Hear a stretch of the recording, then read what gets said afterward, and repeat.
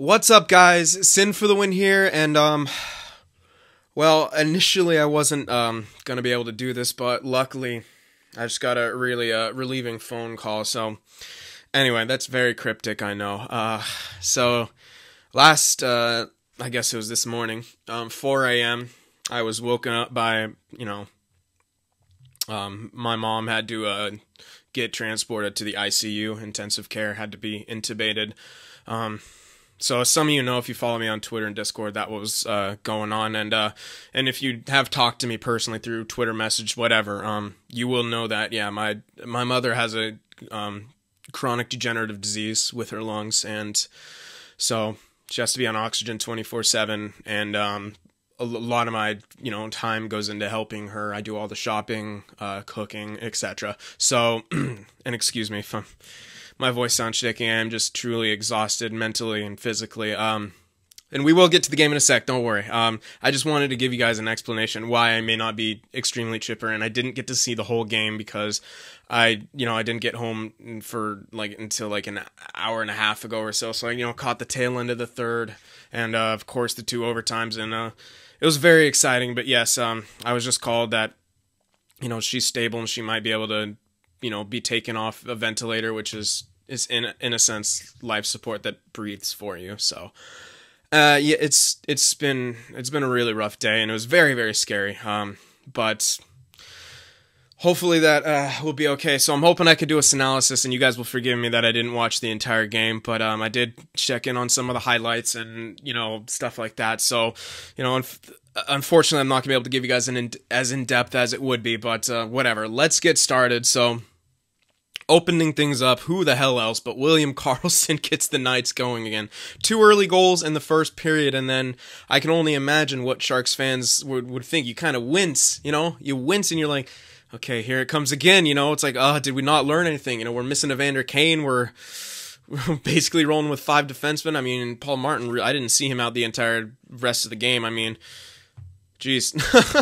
but, um, it was, uh, that's, that's a bit of a statement game. And I will get to the uh, you know the goaltender interference in a bit, but I do want to talk about how the Sharks responded to that.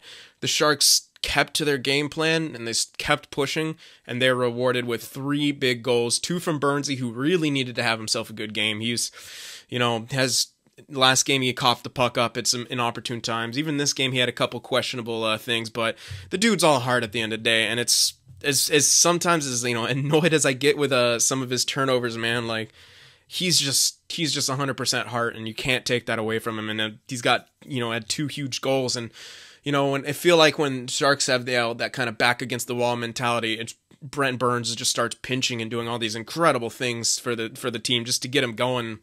You know, two big goals. Almost had a hat trick on the. Uh, I think it was either the first overtime, maybe when there was that power play. I think I guess it was in the second one, because uh, I think both the power plays were in that period. He had another almost an open net chance and but man, what a uh, goaltending clinic that Marc Andre Fleury and Joner put on. I mean, the tying goal, I expected Jones to have that. In my opinion, that game should have never gone to overtime. He should have had that goal, but shit happens, man. It hit off a skate. Yeah, I still think he, you know, that was a goal he should have had. You know, typical. I come home, I'm like, oh, cool, Sharks are leading three to two. Turn on, start watching. Oh, Vegas ties it. I thought I was like, oh, am I cursed? Because I was watching from the beginning yesterday, and uh, we all know how that went, or two days ago, whatever. Um, my my clock, my inner clock is so effed right now, guys. So I don't know if you could tell. i I probably look like hell right now, but yeah, um, I definitely gotta get something out, man. It's oh, I need. I miss YouTubing as consistently as I was for a while, but um, yeah. So we get to the overtimes, and man, there is there anything better than overtime playoff hockey, and especially when it's two teams that are at least in this game on a very very even level. They were both they were both playing fantastic. And man there's some big chances either way. Some you know turnovers that the sharks tried to get on and Marc andre fleury. Man that first he stones goodrow cold trying to go five hole. And then the next one with pavs makes a turnover tries to do a little forehand to the backhand. And marc andre fleury with that poke check. Oh i was oh you have no idea how how ugh, that was that was hard to swallow. And then you know seeing vegas it looked okay. So I'm gonna start talking about the goal that was overturned.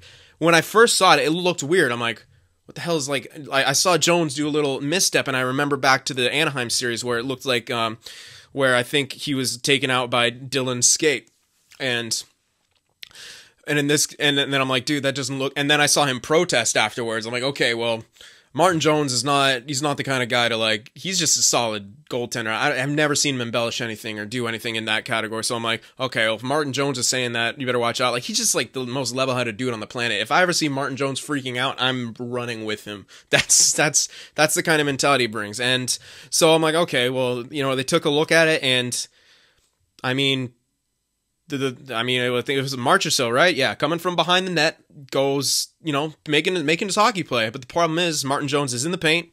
His, you know, he's got his uh, stick side out. Marchessault hits that stick side. Um, yes, Brendan Dillon does have his hand on his back, so I'm, I, I am understanding why some Vegas people are saying that he was being shoved. The, the fact is, is that Marchessault's skating direction never changed. So with someone's hands on your back, essentially, you can move left to left to right freely. The point is he didn't make an effort to get out of the way and as a, an attacking player, your job as per the rule book is to be aware where the goaltender is at all times. Martin Jones was in the paint, the contact was made, it did put him out of position and it did not allow him to make to to even get set up for the secondary save. So by the rules, it is the correct call. I understand the frustration from Vegas. Trust me. I mean, there have been ones that I've looked at this season that I didn't agree with that have been overturned for the Sharks.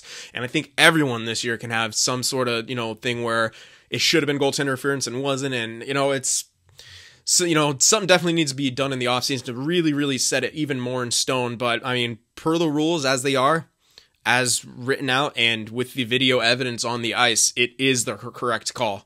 And you know, it, it does suck, and that does seem to you know kind of kind of suck the air out of the building for for Vegas. But you know, at the end of the day, that's what the video review was brought in for, and um, yeah. So I mean, I I I know your pain. I mean, last year I felt that Pavelski was shoved into Rinne in that you know that triple overtime game that the Sharks eventually lost. I felt that he was you know cross checked from behind, and that's what put him in into the goaltender. And but you know, same kind of deal. That you know, last year I guess it's it wasn't as contra. I mean, that one was.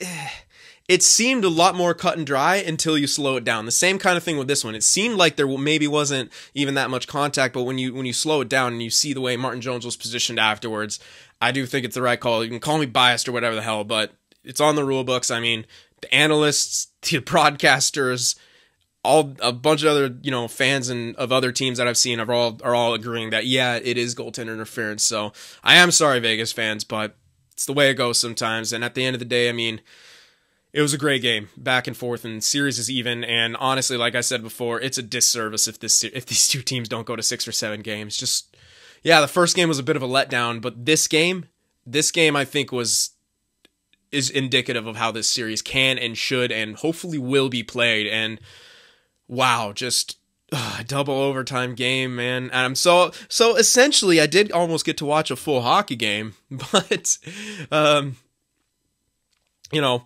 it was uh overtimes and half of a third period. So not quite, but um, yeah. So I do apologize not being able to go too deep in the analysis on those other two goals. But uh, let's talk about Couture's goal.